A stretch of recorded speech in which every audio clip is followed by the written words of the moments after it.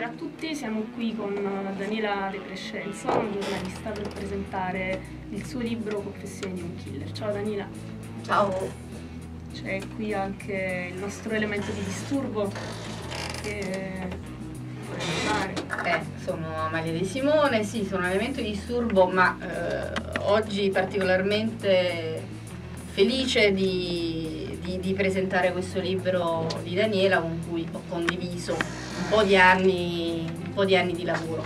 Innanzitutto vorrei ringraziare la regia Giulio. Ok, allora Daniela, il libro eh, si chiama Confessioni di un killer, di che cosa ci racconti? Uh, il libro raccoglie praticamente in diretta uh, il racconto di Oreste Spagnolo. Uh, chi è Oreste Spagnolo? Oreste Spagnolo è un estorsore nel clan dei Casalesi che all'improvviso, lui che veniva da una famiglia normale, il padre infermiere Pellegrini, la mamma casalinga, si trova a, si tra, la famiglia si trasferisce a Castelvolturno e lui inizia una carriera di rapinatore. Eh, comincia con le rapine con, alle coppiette, alle prostitute, con le quali poi si mettono d'accordo per dividere l'incasso, poi passa alle rapine nelle, nelle ville e, qua, e racconta eh, come diciamo, si organizza il sistema della prostituzione, perché loro rapinavano sostanzialmente alle immigrate e quindi alle madame quando le beccavano oppure alle prostitute diciamo semplici.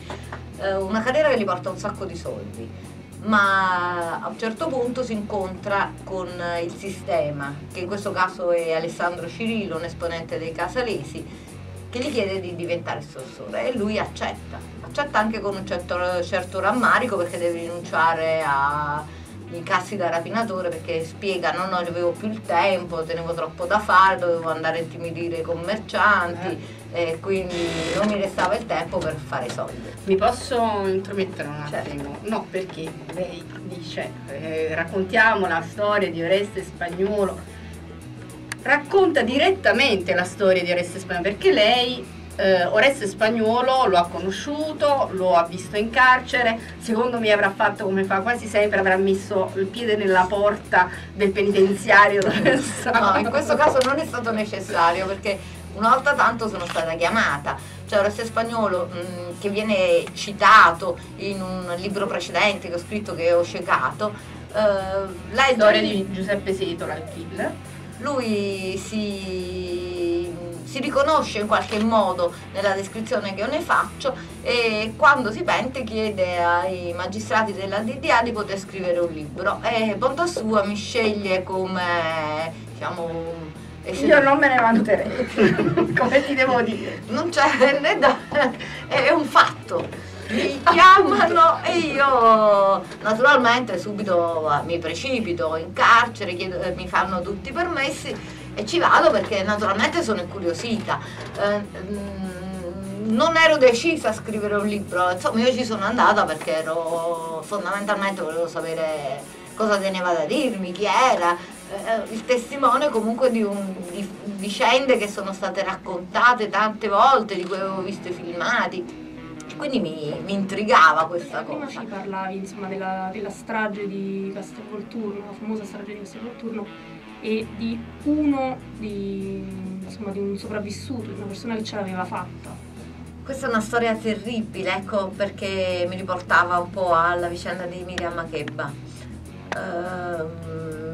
Saggio, nella strage sopravvive un immigrato, Joseph.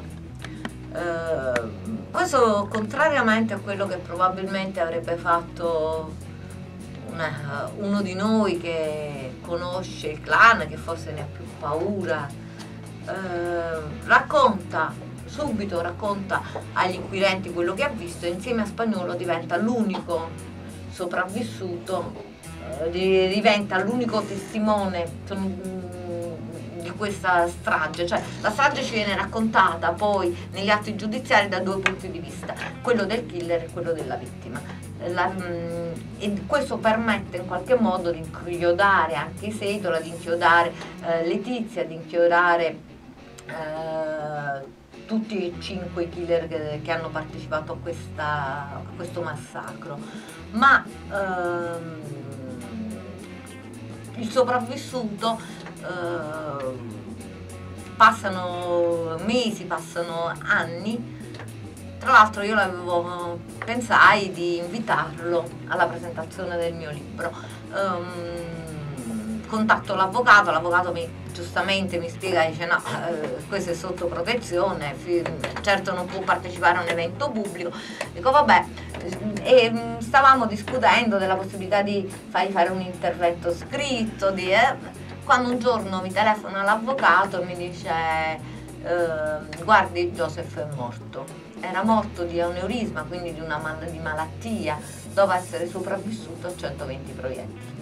E ah, la vita è anche questo, cose assurde perché io credo che mai, mai, né lui né nessuno di noi poteva immaginare una cosa del genere, né lo stesso spagnolo, che anzi quando ha preso la notizia mi hanno detto poi il suo legale è molto preoccupato perché resta l'unico testimone contro Setola, mentre prima erano in due. Erano in due. Allora, io voglio solamente dire, magari la mia opinione conta meno di zero, però io questo libro l'ho letto, è un bel libro e veramente vale la pena leggerlo, vale la pena leggerlo. Grazie Amalia, spero che chi lo legge possa essere interessato da questa storia, che è quello che è successo a me. Grazie a te, grazie a tutti.